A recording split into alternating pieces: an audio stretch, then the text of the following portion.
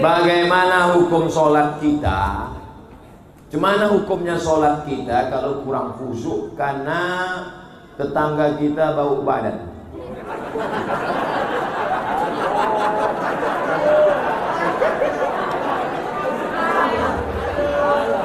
Man akala basolan siapa yang makan basol bawang merah au bawang putih fala yaqrabanna musallana. Jangan dekat-dekat tempat salat kami. Falyas falyatazil masajidana.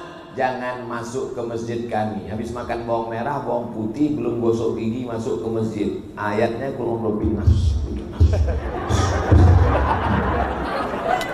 Innal malaikata tata'adza Malaikat tersakiti dengan bau mulut Makanya Nabi mengatakan laula an asyuqu ala ummati kalau tidak memberatkan bagi umatku la amartuhum bisiwak kusuruh mereka bersiwak bergosok gigi. Makanya kadang imam-imam khususnya banyak dari kalangan jamaah tabligh mengantongi siwak sebenarnya. Luruskan sah, luruskan sah.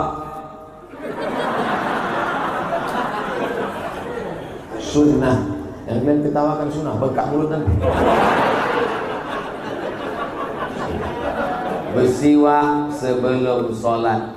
Orang Islam gosok gigi sehari lima kali Sebelum subuh, sebelum zuhur, sebelum asar, sebelum maghrib, sebelum isya Tak usah ajari orang Islam tentang kebersihan Sama mengajar itik berenang Oleh sebab itu maka Ini masalah bau mulut bau. Adapun bau badan cuma menghilangkannya makan garam Inggris.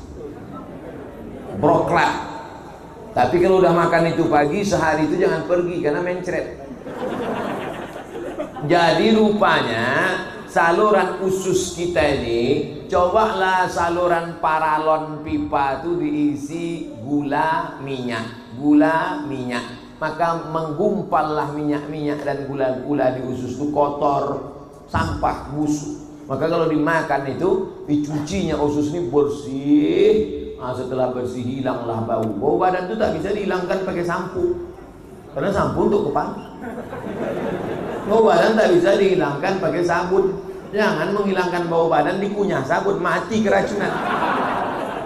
Nah, dengan cara membersihkan usus tadi setelah bersih hilang bau badan. Ada orang bau badan. Kalau ada orang susah mati dekat dengan dia, sesak nafas mati kok